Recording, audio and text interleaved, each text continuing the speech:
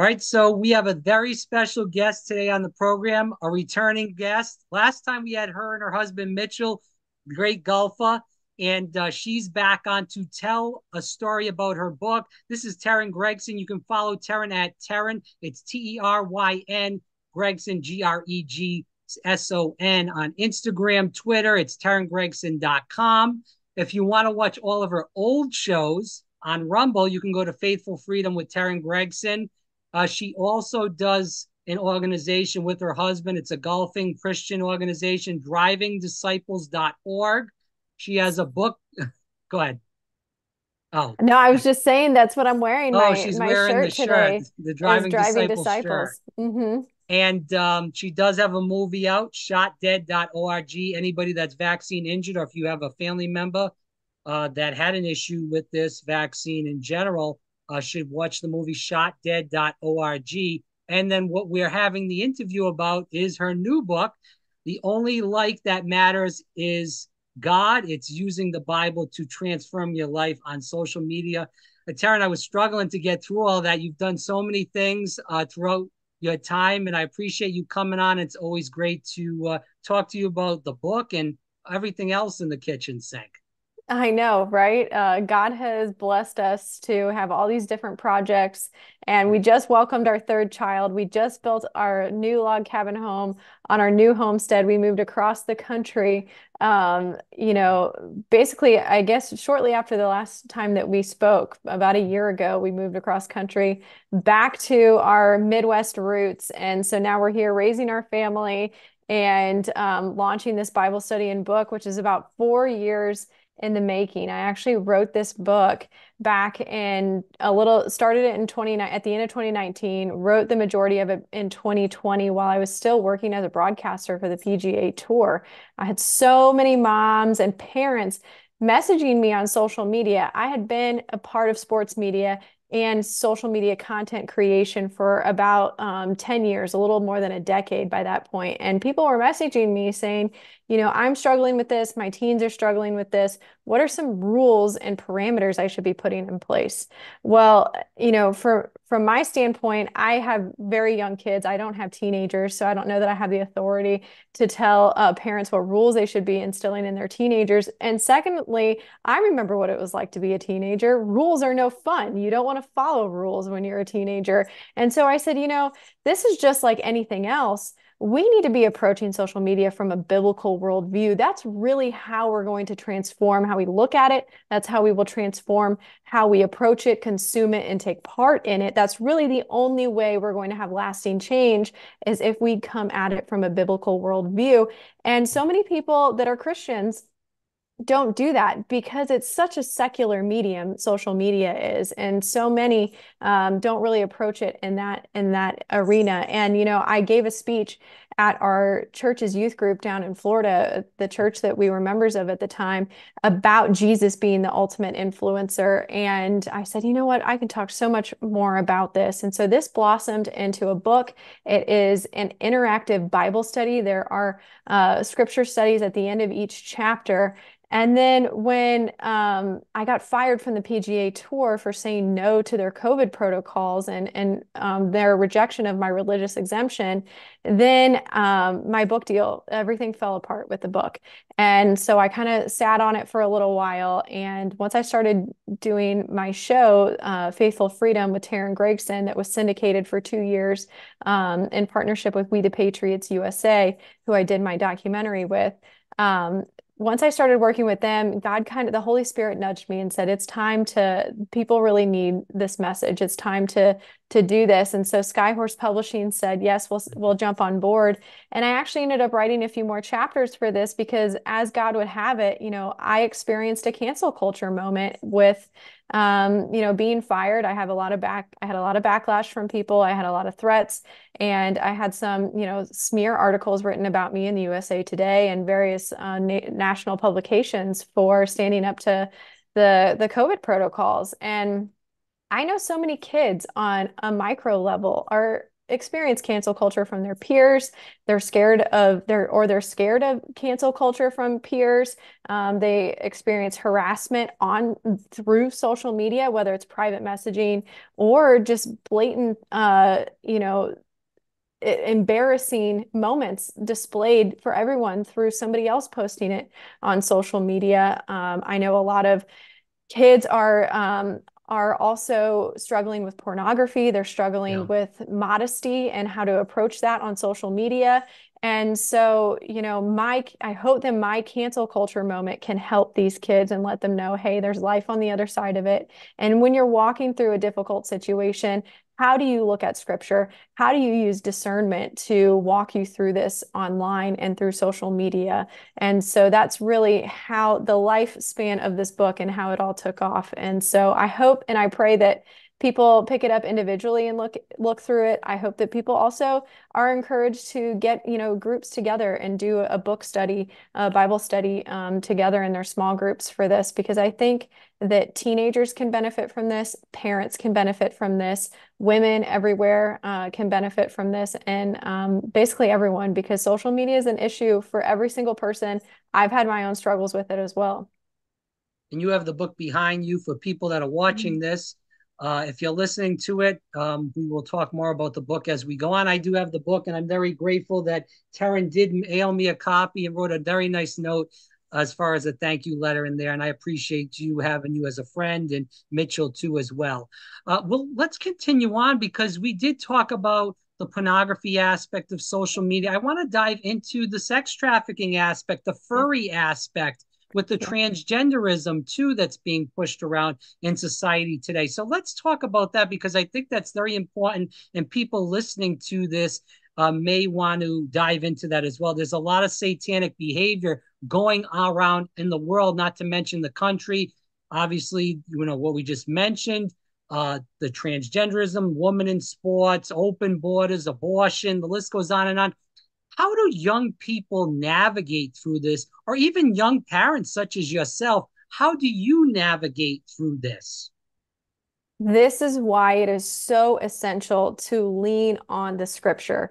When you have a solid foundation in the truth, in God's word, then all of the various confusing lies that the spiritual warfare that we're experiencing around us then you're able to stand up to that or you're able to discern on your own and know and spot these things and know okay no you know this is not correct. God created male and female. Um, you know god has guidelines for modesty and how i should present myself or um, how other people should interact with me. Um, there are you know various uh, things throughout the bible that these these struggles that we are having they are nothing new under the sun right? Just as the bible says we god's people have experienced these things in various forms throughout time. And so social media is just a different lens in which we are experiencing these things.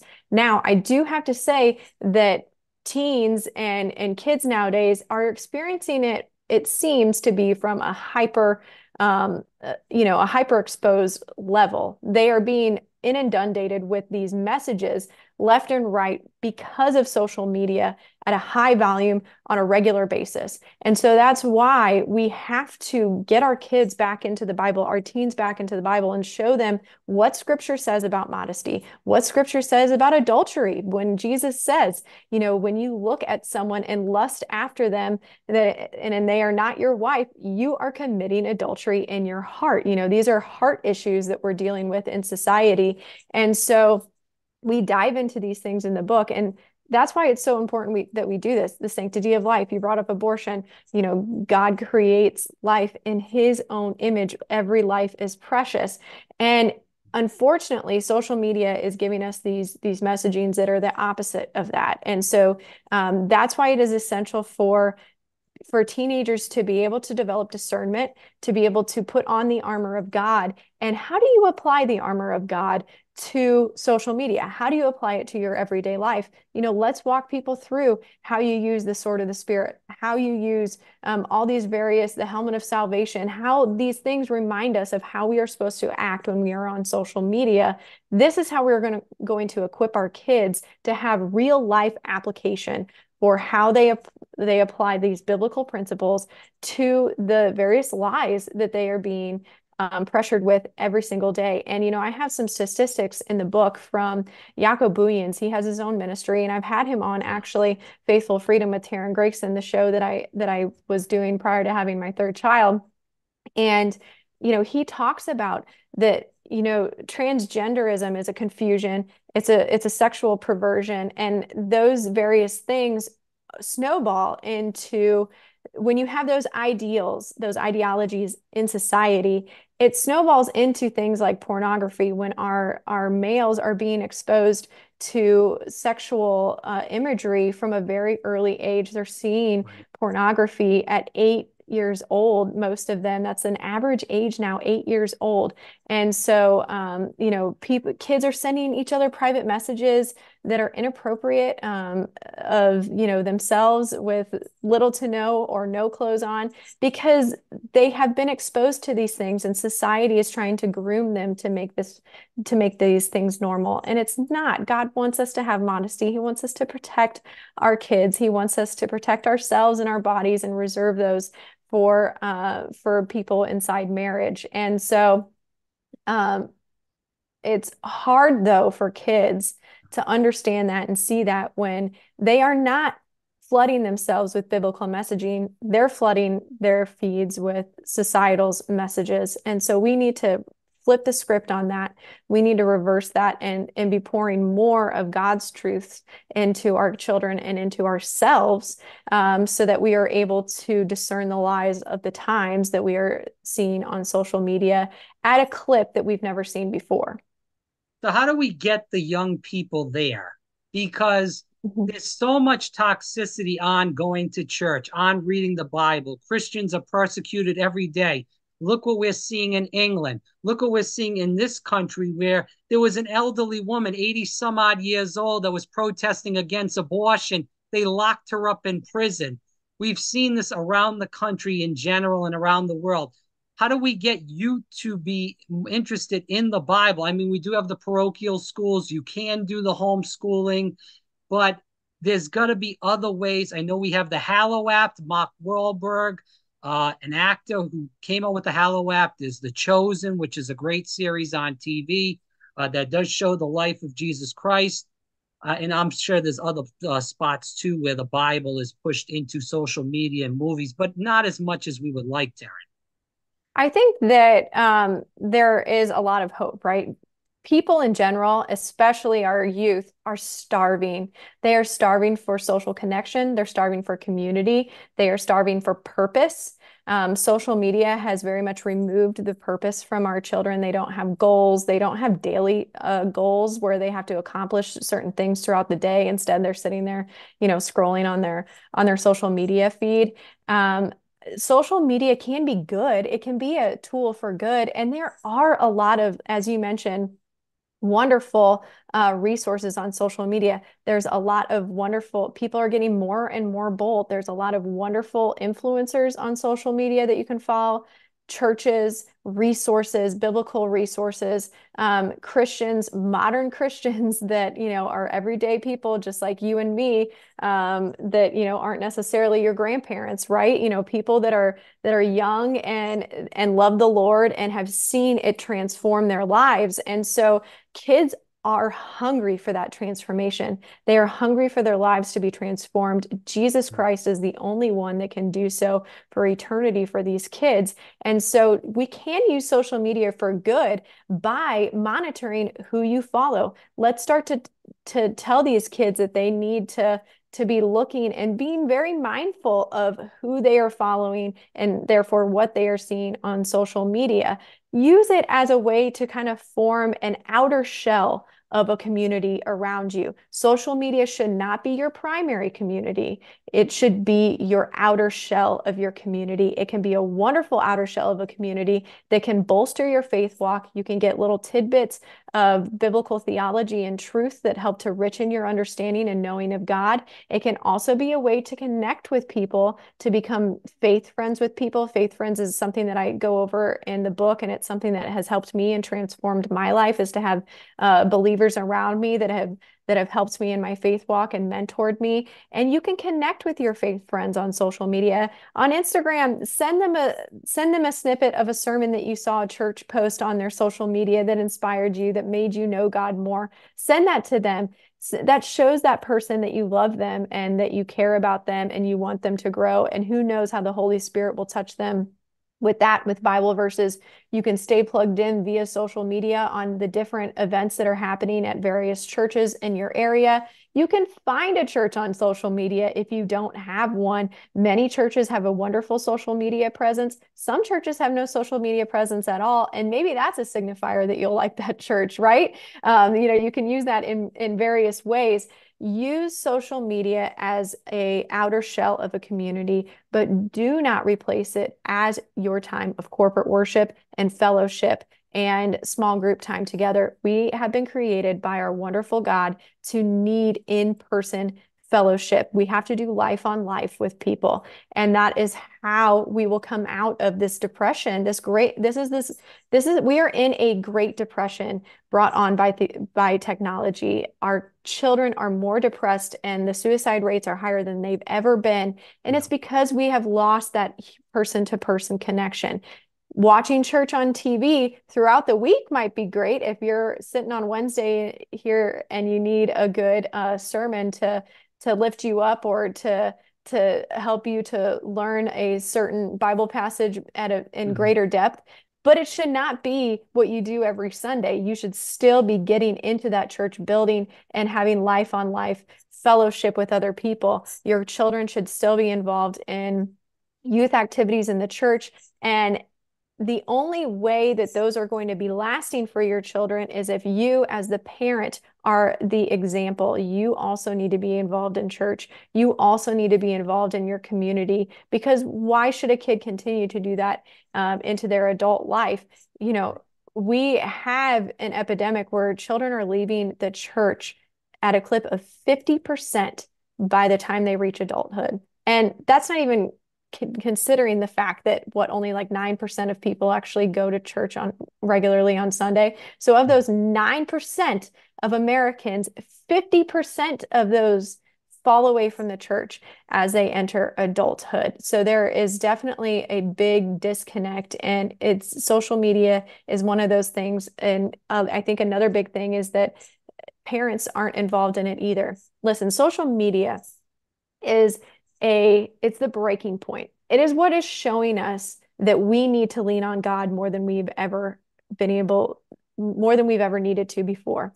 This is the breaking point, social media. We have been on this track for quite some time. God's people have gone in various cycles throughout uh throughout, you know, time and where God's people fall away from him and then they learn that they need to lean back on God. We are in that in that cycle right now where we are social media is the breaking point showing us that we need to lean back on God. We have had fast-paced lives for quite some time for many generations. Technology has continued to escalate that. Social media was our tipping point and knowing that okay, we need to slow down. We need to be more intentional about life parents we need to be more involved in the community instead of you know running around from place to place every day um, and various things. We need to make time for our churches. We need to make time for our schools for our communities and therefore our children will see that as an example. And then they will see that life and people around life are more important than the lies that they are seeing on social media. So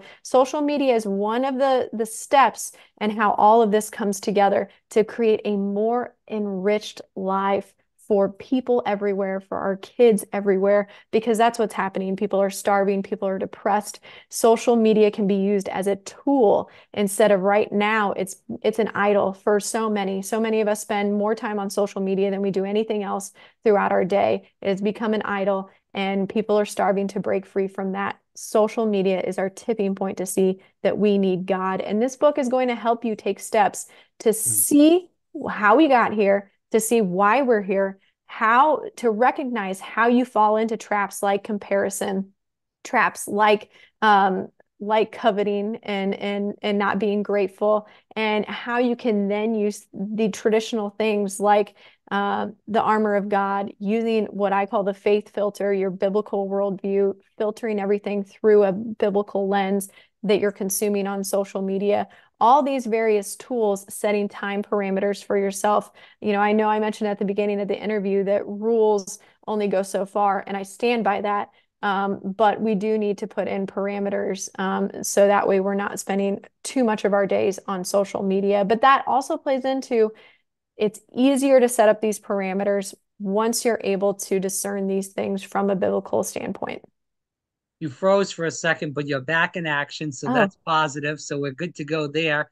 Uh, but I do want to recalibrate here for everybody listening. It's at Teryn Gregson, teryngregson.com. The drivingdisciples.org. We'll get to that as the interview ends.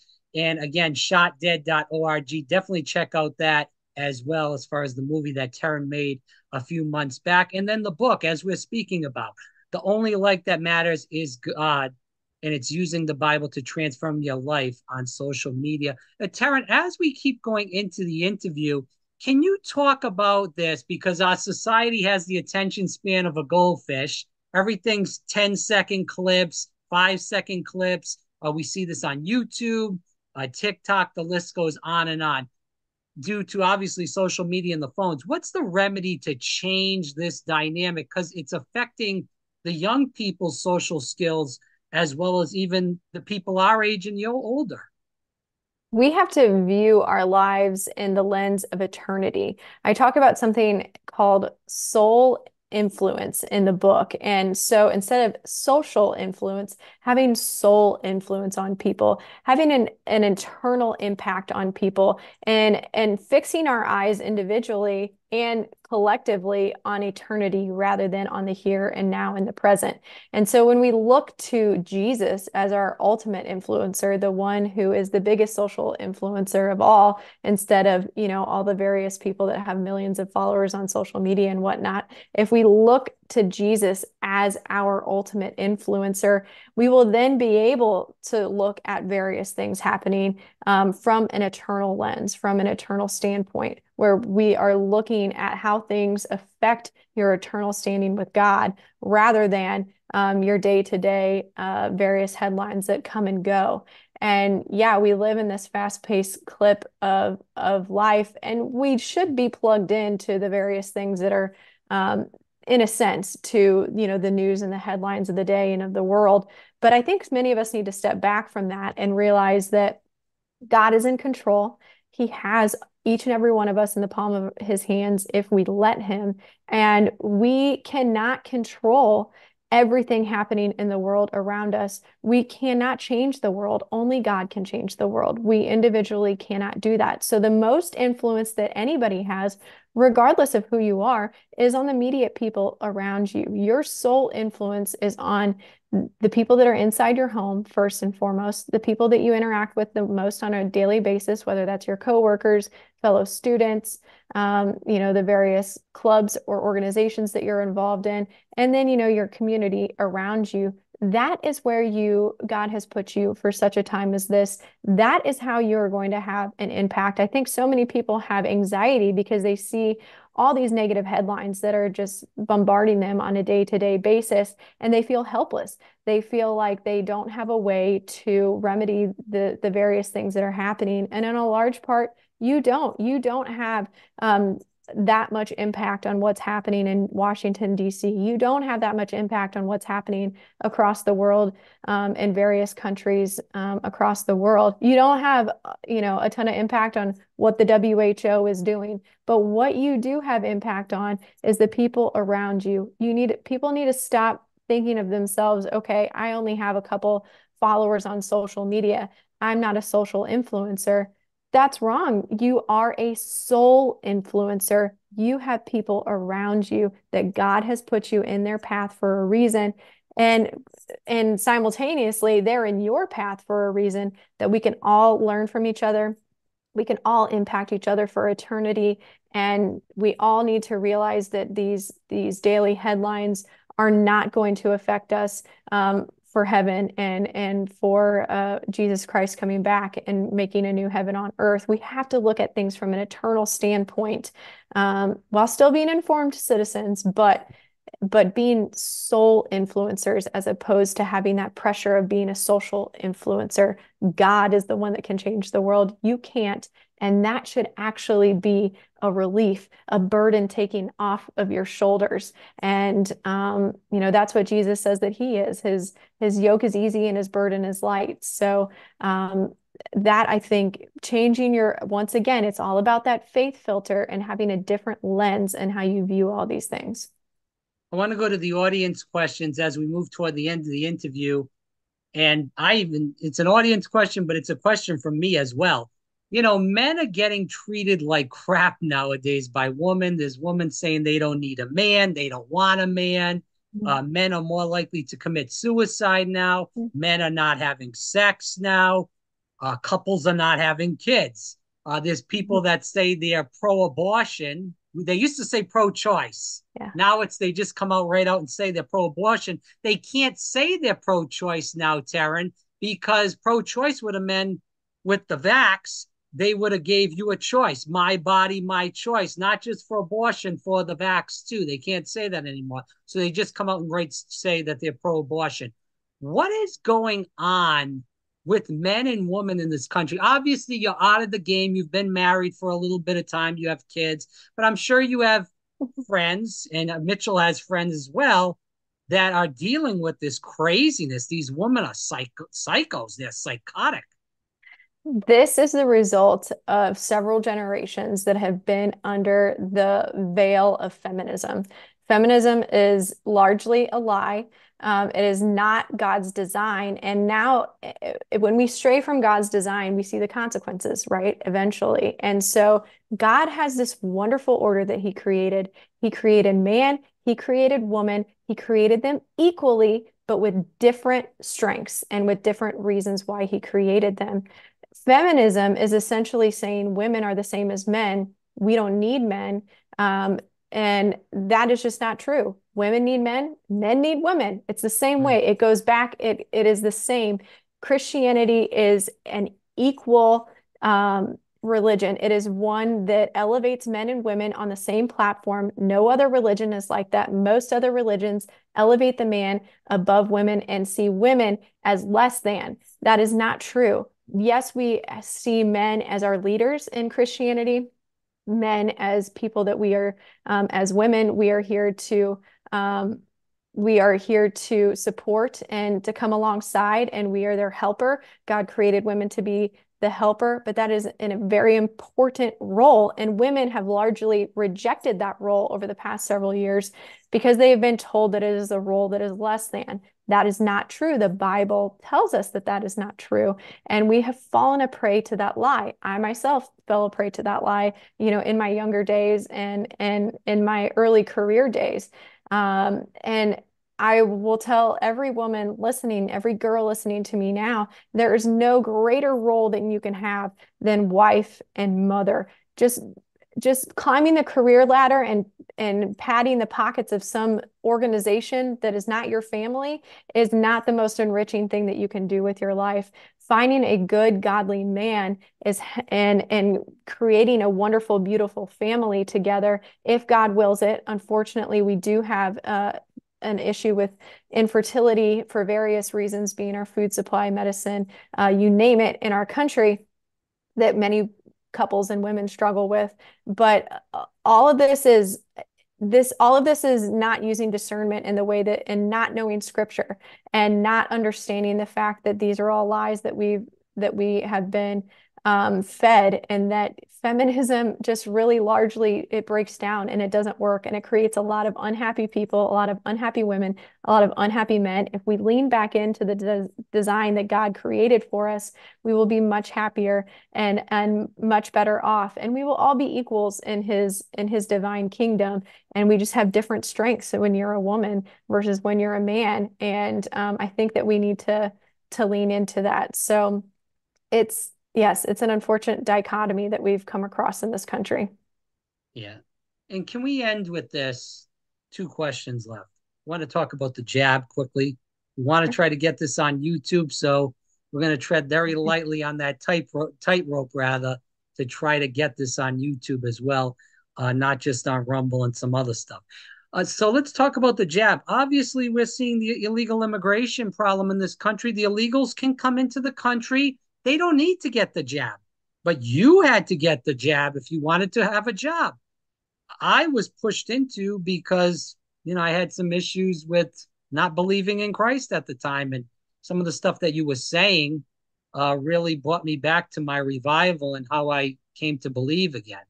Uh, regardless of that, these people are coming in, they're raping women, they're committing crimes, murdering people, they don't have to get the jab. Do you believe, as I do, that this is a plan to bring these people in? They don't know what freedom is or what it's about. Uh, they are the people that 70% of people in this country did get the jab. A lot of them are injured. A lot of them, you know, are women. They're having menstrual cycle mm-hmm. problems. They're not able to get pregnant now due to the jab. If they have, if they get pregnant, they're having miscarriages. The list goes on and on. Is this a population control issue where we're bringing in these people so we can take full advantage of these people with working them for slave wages, bring us back in the United States to feudalism instead of a republic like this country was founded on? I think that it has largely to do with wanting to gain voters. Absolutely. I think it okay. it does have a lot to do with wanting to gain voters to one particular party. I think that it just is another prime example of the spiritual battle that is taking right. place. And um, when you throw the sanctity of life out the window, when you start to say that God's innocent creatures inside a mother's womb do not have rights, when you start to say that babies, you can kill babies, then the whole the whole concept of the sanctity of life goes under goes out the window then we do not hold life to be precious. So therefore let's you know let's just not have a safe uh, border. You know that's a safety issue. That is that is a safety issue. It is also you know if you don't have a safe and secure border that's what makes a country right? We all yeah. there's countries established all around the world. You have to have a secure border in order to uh, establish yourself as a country. So it's creating chaos. Satan loves chaos um, it is throwing the sanctity of life out the window when you're putting people in danger. That goes for the border that goes for uh, experimental medical um, you know treatments. treatments. Um, that's what we'll call it here for this. Um, you know, when you're saying that it doesn't matter if um, you get sick from this, if you have debilitating injury from this, um, your job is requiring this. It doesn't matter if you can, if you miscarry, if you no longer, uh, you know, that's going back on the whole. I'm putting myself above everyone else, um, and and saying, you know, oh, my life and my job matters more than my well, there's men now, Teryn, that are getting vasectomies now. Because mm-hmm. they want to say that they're for a woman. And how are they for a woman? How are they for a family when they're getting vasectomies? I mean, this whole country is a total joke. I went on a rant on a Delaware radio station, conservative radio station this morning that, you know, the flag should be upside down right now. It is an SOS right now in this country. And people are so we, confused. People yeah. are just so confused. They don't have that foundational truth that the Bible gives them to stand firm on. So they are going to be, you know, pushed with the wind to and fro, and they're going to be convinced uh, and and move their goalposts on a regular basis, just like the world does, just like society does. You have to have that firm foundation. You have to know what's in your Bible. You have to understand it. There is no better time than now to do so. There it is never too late to dive in and to understand scripture, to know God more, and to establish a relationship with him spiritually and through prayer. And and he will guide you. You don't have to know every word of the Bible. The Holy Spirit and God has put on our hearts what is right and what is wrong. Even people that don't that are not religious, that are not Christians, they know when they're doing things that are right and, and wrong. But again, Satan is the author of lies. So these people that are that are taking that are doing these these various things that don't make sense. Um, on the surface, they might think that that's true, but deep down, they their heart of hearts is going to tell them at some point that that that is wrong, that they have been confused, they have been lied to, and it's a big. It's just all of it is a spiritual battle, and it. I know for so many people, it might seem like Satan is winning, but he's not. He is not winning. Do not let this all of the things that are happening discourage you. You have the the Holy Spirit inside of you to take control of your your life and to take control take every thought captive just like the bible tells us to and to live a positive enriching life enriched by the Holy Spirit inside of you. You do not have to fall prey to all of these negative things that you are being and these lies that you are being uh, succumbed to every day on media. That's why it's important to filter what you are looking at. And so that way you don't start to uh, think that things like getting a vasectomy is for women. That makes no sense whatsoever. Women were created um, God willing to have children and to, uh, you know, and to be fruitful and to multiply. And it is such a fruitful endeavor. And you can't do that if you are getting a vasectomy. That is a man that has been very confused by, um, again, that's a trickle down of feminism. And feminism by telling women that career their themselves their own pleasures their own fun and their own happiness are more important than having a child and saying oh you can be like a man and you can go uh, get rid of your child whenever you you like so you can take part in things um, without any consequences. That is a lie. These women will eventually be very um, they will be very hurt emotionally by those things. And they you know nobody talks about the the consequences both physically and emotionally that come with ending your child's life and getting an abortion. Many women are hurt uh, physically through abortion. There's a lot of uh, side effects that take place but um, you know it's just all this perversion of of truth. And people have succumbed to the lies. Social media has been a huge perpetrator of the lies, of anxiety, of, um, you know, of making us all very anxious and everything. And so that's why you have to go back to the Bible to to help yourself. And that's something that I talk about too in the book. So many people, we don't know how to rest anymore, which is what I was talking about how social media is the breaking point for understanding that we've been on this fast pace for far too long. Technology has escalated that and you know entertainment and and us always thinking that we need to be entertained and and things like that and that we work to be entertained rather than working for the glory of God. And um and so rest has now become because Satan is the author of lies rest has now become for so many people I fall prey to this sometimes too scrolling through our phones and zoning out on social media zoning out on our phones. Well, scientifically, that's not true because you're still getting your brain's still getting that dopamine hit. And so you're actually not, you know, resting and zoning out. And it's replacing our time in the word it's replacing our time with others it's replacing our time resting and so we in the very last chapter i go through hebrews 4 and i break down verse by verse what the bible is telling us about rest because resting on your phone is not a thing. That's that's a fallacy. And so um, we go through the formula and it's basically read read the bible and and reflect let read reveal. Let the bible reveal to you your shortcomings. Reflect on those aka uh, confess your shortcomings to the lord and then receive receive the lord's grace and mercy. And that's how you are going to rest. By receiving his grace and mercy how can you receive god's grace and mercy if you are at an all you're always anxious you're always depressed about what's going on around you and you always feel like you're falling short of alleviating those horrible things that are happening. How can you receive his grace and mercy if you are on edge like that? You have to be able to rest. You have to be able to go into scripture and see okay this is how I can see Jesus as the ultimate influencer. This is how I can see where I'm I'm coming up short in my own life and in my own practices and in the way that I carry myself or interact with other people. That is not a detriment to that's not a detrimental thing to realize. That is a wonderful thing to realize because then the Bible's telling you how you can live a better life and how you can receive the Lord's grace and mercy. So rest is huge. We are not doing that as a society. Resting in social media is absolutely not um, a, a relief for anyone. We got about three minutes left. I want to be gracious with your time. In a country where morals are hard to find, the economy's in peril, the deep state is running the country because we have a senile president. Leave the audience with some hope after all that.